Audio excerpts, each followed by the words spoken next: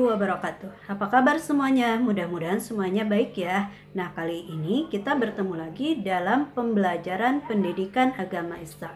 Nah, sebelum kita belajar, kita baca doa dulu yuk. Bismillahirrahmanirrahim. Rabbi zidni ilman warzuqni fahman. Amin. Nah, hari ini materinya adalah hadis tentang mencari ilmu.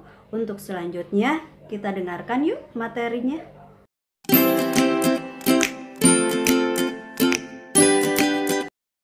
Oke, perhatikan hadis mencari ilmu berikut ini. Yuk kita baca.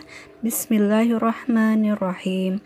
Talabul ilmi faridatun ala kulli muslim.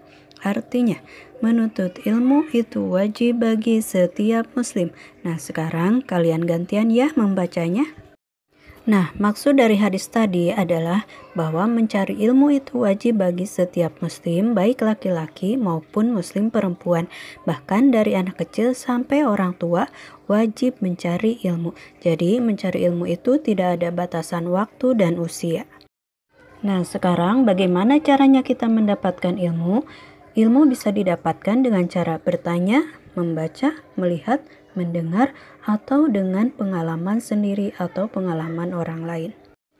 Bahkan Rasulullah pun diperintahkan untuk mencari ilmu pada saat mendapatkan wahyu yang pertama di Gua Hiro, yaitu malaikat Jibril memerintahkan untuk membaca. Ikro, ikro, ikro, bacalah.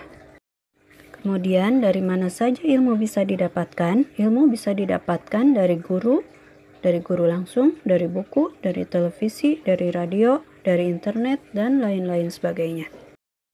Nah, apakah tujuan mencari ilmu? Mencari ilmu bertujuan untuk sebagai bekal kehidupan dunia dan akhirat. Apakah kalian mempunyai cita-cita? Nah, seperti dokter, seperti guru, seperti insinyur. Jadi, untuk mendapatkan itu semua, jangan lupa belajar. Setelah kita belajar tadi, bagaimana sudah paham kan hadis tentang mencari ilmu? Nah, Miss pesan mudah-mudahan materinya bermanfaat untuk kalian semua dan jangan berhenti belajar. Terus tetap semangat. Oke, dan sekarang saatnya kalian hafalkan hadis tersebut dan kalian sebutkan ya apa cita-cita kalian.